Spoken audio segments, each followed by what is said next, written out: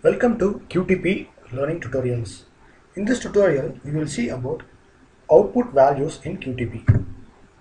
Output value step is a step in which one or more values are getting captured by a QTP at a specific point in your component and the value will get stored for the duration of the run session.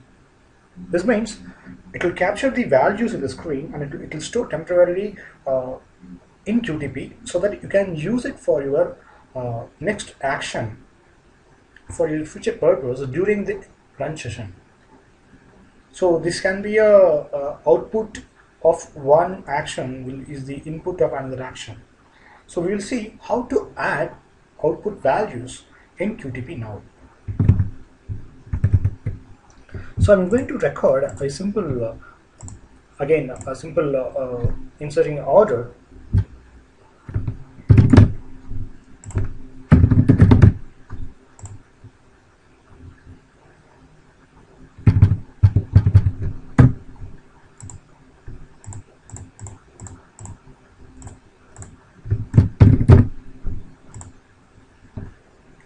So in this case, I would like to retry my order number. So what's my order number?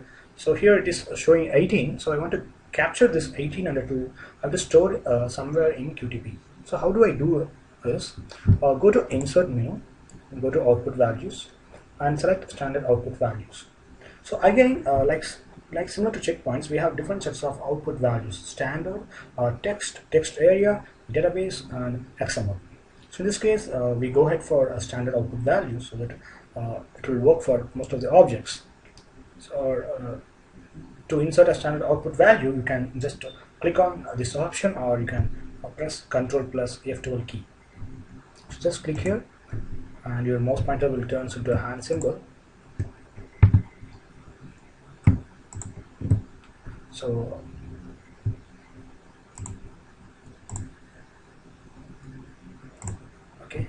now click on the object that is on order number 18 here. Just click it and you need to select the the uh, item the which object you would like to retrieve so in this case we are going to retrieve the order number. So just select this and click on ok.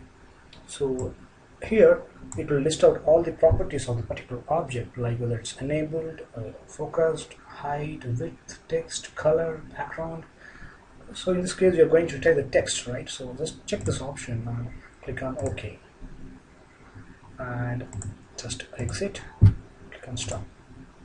So here you would have noticed there's a change in your uh, global sheet. So the column A has been renamed to order underscore number underscore text underscore out. So what the QTP will do is during the execution time it will retrieve the value and it will get stored here temporarily so you can use it across your scripts, uh, this particular value. Uh, but you want to check whether your execution is fine or not, whether your recording is fine or not. So to validate that, just click on run. So now the order number will be 19 here. Right, so we can just uh, check whether the order number 19 is getting captured or not. Think it's captured. So to view the result, just click on runtime data table. So this is the data table uh, using by QTP during runtime. Yes, here it is. So here you could see the uh, order number 19 here. So this is how you get the value and get stored in your data table for your future purpose. Thank you.